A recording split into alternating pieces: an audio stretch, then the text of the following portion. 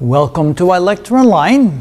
Now that we've seen some of the theory when it comes to sample and sample means and sample distributions, let's do some examples. Let's start with a simple example. In this particular case, we're dealing with a population. Notice that the members of the population, the elements in the population can be 0, 2, 4, 6, or 8. There's multiples of each. Notice that the mean or the average in the population is equal to 4. Now, what do we do in order to come up with a distribution of the sample means? Well, first of all, we need to understand what the sample size is. In this case, the sample size is 2. Now, how many samples are we going to take? Well, that is not an issue at this point. What we can do, however, is we can look at all the possible different kind of samples that we could draw from that. And it turns out there's 25 different types of samples or 25 different possibilities. Notice that we've drawn all or written on the board all 25 possibilities. We draw two numbers at random. They could both be 0, one could be 0 and a 2, a 0 and a 4, a 0 and a 6, a 0 and 8, or it could be 2 and 0, 2 and 2, 2 and 4, and so forth. We grab one, we grab the other, and those are the 25 possibilities based upon this population.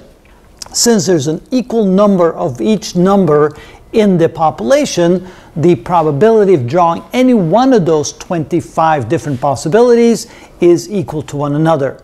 The possibility of drawing any one of them is 1 out of 25 or 0.04.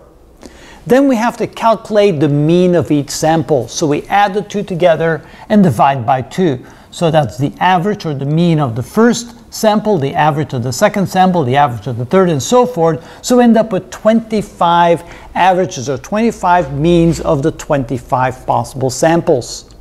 Then we calculate the probability that we'll get one of those means. So the probability of getting zero for the average by grabbing two at random, again, they have to be grabbed at random. Well, the probability is 0.04. There's only one out of 25 possibilities that happening the, pro the probability of getting an average of 1 is 0.08, the probability of getting an average of 2 is 0.12, and so forth.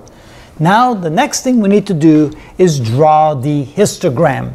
And when we draw the histogram, you can see we have that nice normal distribution. Notice that the, the one in the middle that has the highest probability ends up being 4. So we can see here that the average or the mean of the means of these samples ends up being equal to 4. And notice that that's equal to the average of the mean of the population.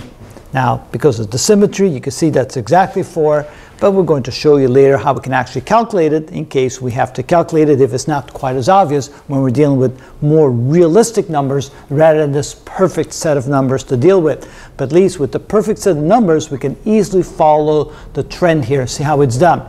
So first of all, we identify the sample size. We identify the number of samples. In this case, we're looking at all the possible samples that we could draw from this particular population. Of course, in the real world, we just pick a number and we just grab a certain number in each case. We then calculate the mean of each sample. Then we calculate the probability of having that particular mean. Then we draw a histogram of the probabilities of getting each one of those averages or each one of those means. Notice it's a nice normal distribution and we can clearly pick out that the mean of the distribution of the means is equal to 4 which happens to be the same as the average or the mean of the population. So that's one important piece of information we can get out of sampling from a total population. We sample and we get the average or the mean of the distribution of the means of the samples and that is how it's done.